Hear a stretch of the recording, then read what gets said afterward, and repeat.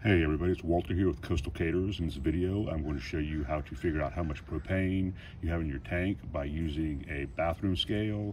You can actually use a hanging scale also, but in this video, we're going to be using a bathroom scale. Now, in order to find out how much propane you have in your tank using a bathroom scale, first you have to know how much the propane is going to weigh and then also how much the tank is going to weigh. And the tank, when it's empty, is going to weigh 17 pounds and the propane is going to be roughly four pounds per gallon. And these tanks hold five gallons so that's why they call them a 20 pound tank because of course five gallons of propane at four pounds is going to be 20 pounds.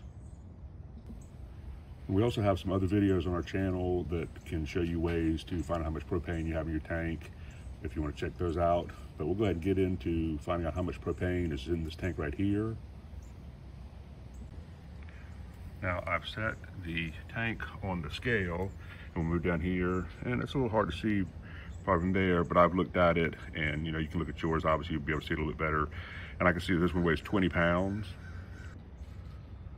Since we know that the tank weighs 17 pounds empty and there's three more pounds because it's weighing out at 20 right now. I know it's a little hard to see, but it's weighing out at 20. And we know that each gallon of propane weighs four pounds roughly and this is at 20 so we know that this tank has a little less than a gallon in it. Just remember to make sure that your scale is set to zero before you weigh anything so that you get an accurate weight and that the tank is completely on the scale. If you haven't had a chance to subscribe to our channel or give this video a like uh, we'd really appreciate that. If you go ahead and do that now and we actually just released another video a couple of weeks ago where how you can find the fill level of your propane tank using some warm water that you pour onto the tank. It's a really interesting video. It's a really cool trick. If you want to check that out too, we'll have a link to that in the description. And once again, this is Walter with Coastal Caterers, and this is how you can find out the fill level of your propane tank by using a bathroom scale or a hanging scale.